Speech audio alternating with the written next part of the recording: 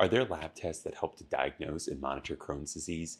Yes, there are. Keep watching this video to learn how I use labs to manage Crohn's disease. In a separate video, I discuss why a colonoscopy is the most important evaluation for diagnosing Crohn's disease. Lab tests provide an important non-invasive measure to complement the information that we find during a colonoscopy. There are a few antibodies that can help distinguish between types of inflammatory bowel disease and may strengthen or weaken the diagnosis of inflammatory bowel disease when there's uncertainty. But when the colonoscopy provides quite a clear picture of Crohn's disease then that itself is sufficient. And these other lab tests are really not that useful in my opinion. More helpful are labs which signal inflammation. If we can find an inflammatory marker that complements the diagnosis of Crohn's disease and is elevated at the time of diagnosis and trend that downward as a patient's symptoms improve, then that can reflect that there is in fact improvement of inflammation.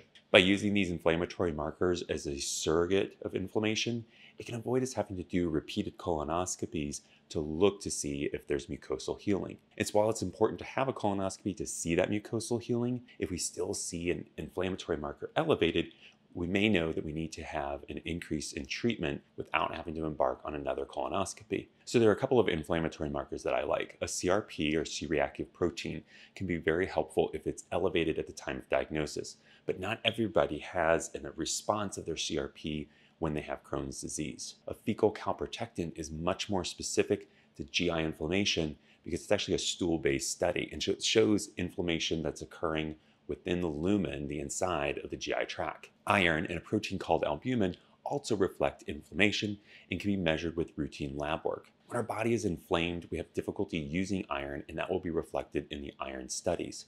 Similarly, we can't as effectively make protein, and that'll be reflected by a low albumin level. Iron and albumin levels also provide information about a patient's nutrition, which is an important concept for us to consider when a person has Crohn's disease because a disease of the GI tract is going to be impacting your ability to make good use of the nutrition that you're eating. Additional nutrition labs that are helpful to measure are vitamin B12 and vitamin D because these are very typically low in a patient who has Crohn's disease and may need to be supplemented. When a person is diagnosed with Crohn's disease, we anticipate that we're going to need to be treating them with medications that suppress their immune system.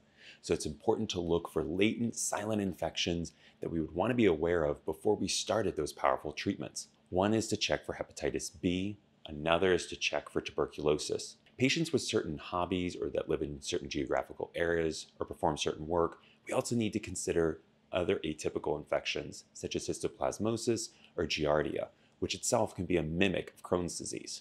People who work outdoors or dig in dirt that may have bird or bat droppings are at risk for the fungal infection histoplasmosis within certain geographies of the country. People like my brother who camp in remote areas or drink from uncertain water sources need to be considered for a Giardia infection. Aside from excluding infections, it's important to screen for people who are abnormal metabolizers of drugs because they could be at risk for accumulating dangerously high levels of those drugs. Specifically, we want to screen if a person is an abnormal metabolizer of the drug azathioprine or Imuran. By considering these factors early, we can build a safe plan for treatment. Labs discussed in this video can help us track objective data that complements a patient's changing symptoms during the course of their treatment with Crohn's disease.